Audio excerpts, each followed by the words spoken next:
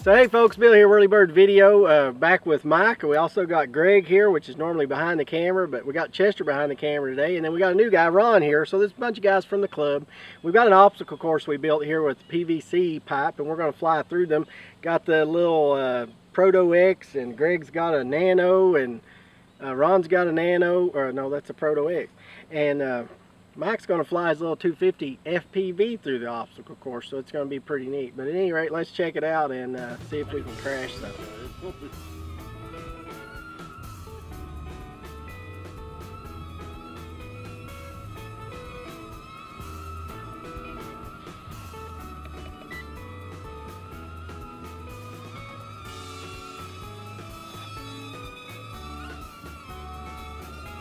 I was supposed to go outside of that cube.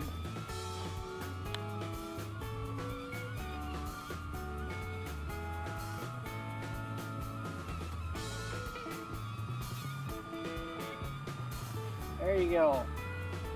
Took like 16 minutes. Next! So I made these things to try to be simple or more complex according to how your uh, skill quality or how you fly. But anyway, got these kind of straight, but you can also pivot these. So if you make it a little harder, you can pivot them in different orientations and try to make it harder.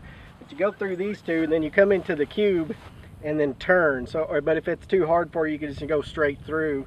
And then on the ladders over there, you go through and then you back up and come back through backwards and then go through forwards again. So you go through that one three times. Again, if the skill level's too hard, do it a different way. But also thought maybe going down through the top and turning or even coming up through the bottom and turning. So you could do it several different ways. Uh, but three little things and make up a fun little course. Greg's going to try now with his Nano QX. This one's famous, right? It was on Flite Test. Yes, this is what started the nano craze.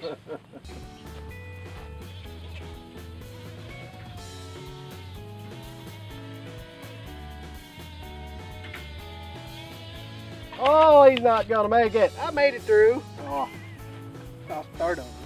no, oh, just keep going. All right. Now the wind's gotta pick up. Yep, and it's not going to want to fly for me.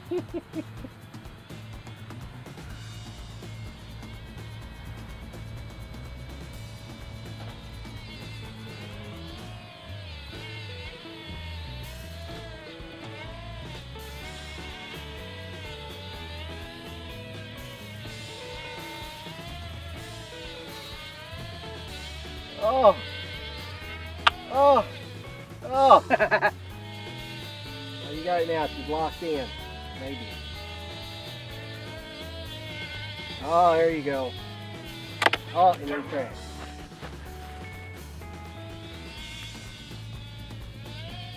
Oh, he got that one. Oh, he made it. He did a lot faster than I did. He, he went to crash. Now he's crashing.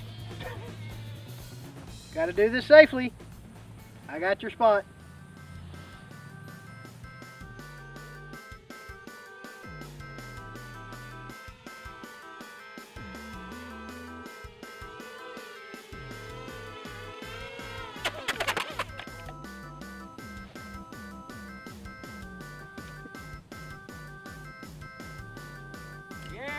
The first time I've seen one break. Well, there you go, folks. So you can break it, apparently. You can glue that back together. I'm disqualified. Dang. Be all right. Sixteen dollars. Oh well. That's what happened. I'm out. Okay.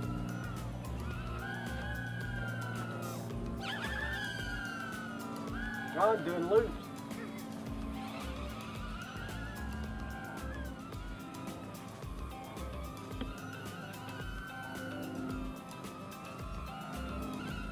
Oh, that counts. Uh-oh.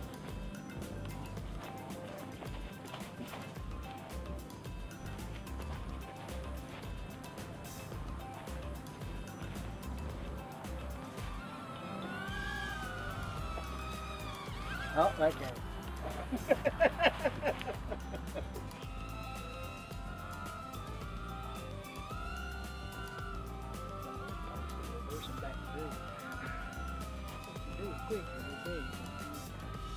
That. Oh! Stuck a prop in it. that makes them easier to find. Find easy. Stick it in the thing. there you go. Note to self: hit the phone head on.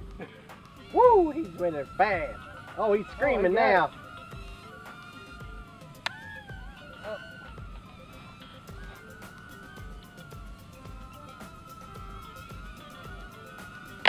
Oh, oh.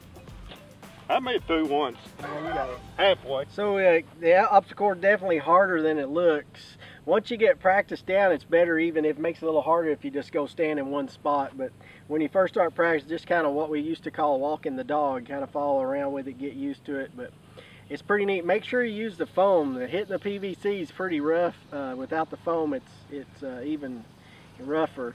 Uh, Mike had a crash yesterday, and I think that's what did in his arm. But because I really don't think that would have broke his arm. Yeah. Uh, those are tough little frames. It's Yep. been through a lot worse crashes than that. Well, it's crashed from uh, 100 plus feet twice, and I think yesterday when I lost my video link and I crashed it from right around 100 feet, just guessing that's probably what did the frame in. yeah. I just didn't notice it was probably cracked. Well, Greg seemed to have the fastest time with his.